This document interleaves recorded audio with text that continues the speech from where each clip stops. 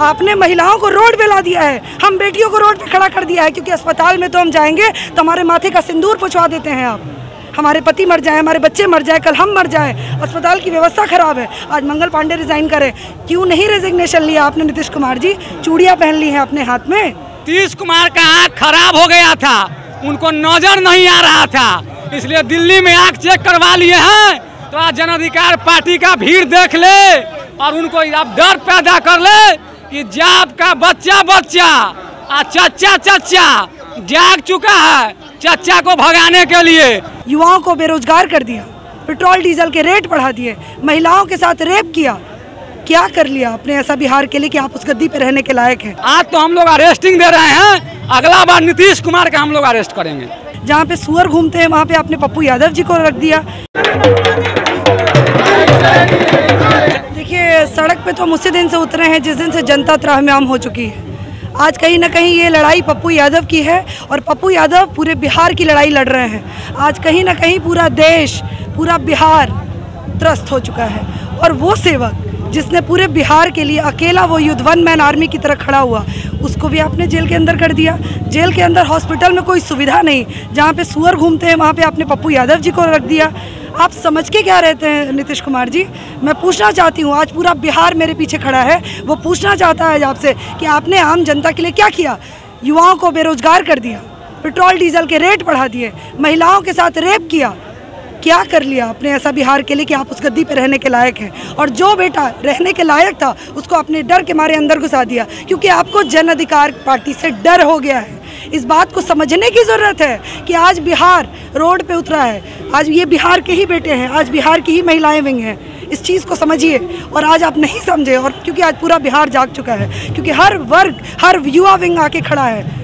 तो समझना तो पड़ेगा आपको। आप देखिए तांडव कीजिए। तांडव जन अधिकार नहीं आज आप कौन सा तांडव करने आए हैं? कोई तांडव नहीं जन अधिकार कभी तांडव नहीं करता है। तांडव तो ये सत्ता कर रही है। जन अधिकार अपने हक की लड़ाई करता है और पानी सर से ऊपर चला गया है। मैंने आपको बताया पहले भी आज कहीं ना कहीं पप्पू यादव जी की रिहाई नहीं हुई। बेरोजगारी बढ़ती रही डीजल पेट्रोल के रेट बढ़ते रहे। और पप्पू यादव क्यों?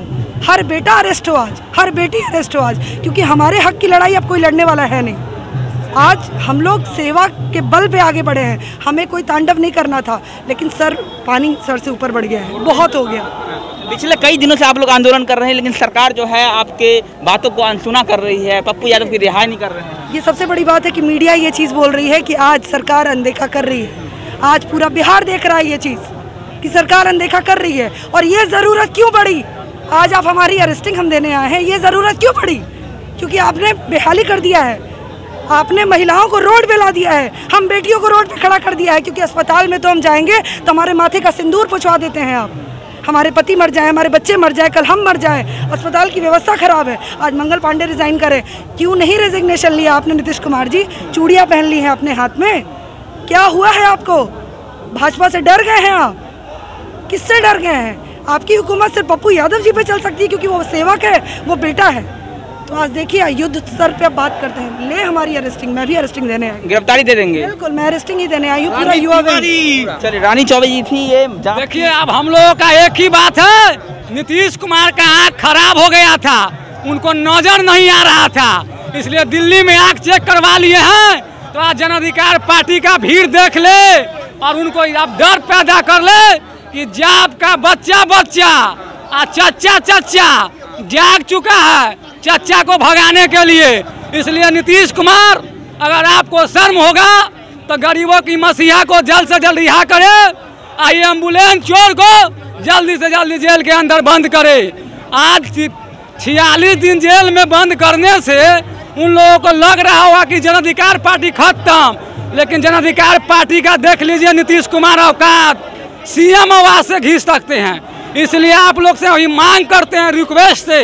कि गरीबियों का मसीहा आम पब्लिक का आवाज़ को जल्द से जल्द रिहा करे यह रिक्वेस्ट है। नहीं तो हम लोग अगला कदम सीएम आवास। आज तो हम लोग अरेस्टिंग दे रहे हैं। अगला बार नीतीश कुमार का हम लोग अरेस्ट करेंगे। नीतीश कुमार को अरेस्ट कर लेंगे अरे भाई नीतीश कुमार जनते के ना वोट से जीतते हैं। तभी हम लोग हारे हुए हैं तो जनता हुए। जिस दिन जीत जाएँगे उस दिन नेता होंगे। इसलिए जनता के नाते नीतीश कुमार के खींच लेंगे। वो भी बख्तियारपुर के हम भी बख्तियारपुर के। इसलिए उनको याद होगा कि जिस दिन वो हवाई चप्पल पहन के बउआते थे उस दिन उनका औकात। आई सीएम बन गए हैं तो हमके लिए बराबर ही हैं क्योंकि कोई भी लेकिन आज तो आजकल जो बख्तियारपुर का मुन्ना जो है वो तो कमाल कर रहा है। पिछले 16 साल से स- कुर्सी पर जमा हुआ है। अरे कोई जमा हुआ है। सबको उखाड़ फेंकने के लिए जन अधिकार पार्टी अब आ गया है। कोई कहता था विकल्प नहीं है लेकिन अब विकल्प हम लोग आ गए हैं। और जन अधिकार पार्टी का एक ही काम है। सिर्फ़ जनता को मदद करना, अगर मदद करने में हमारे जान भी चली जाती है तो वह कुर्बान है। चलिए, ठीक है। कार्यकर्ता है, तमाम कार्यकर्ता जो है सड़कों पर उतर चुके हैं और पप्पू यादव की रिहाई को लेकर जो है, ये लोग लगातार आंदोलन कर रहे हैं। जो देख सकते हैं आप, तमाम अलग अलग जिलों से कार्यकर्ता जो हैं, वो आए हुए हैं।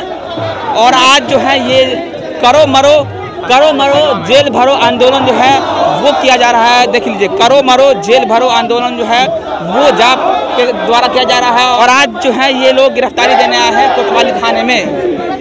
अब देखना ये होगा कि पुलिस इनको गिरफ़्तार करती है या नहीं, और आगे ये लोग क्या कुछ करते हैं। बने रहे हमारे साथ, मेरा नाम वरुण शाह है, आप जनता जंक्शन देख रहे थे। बहुत बहुत धन्यवाद।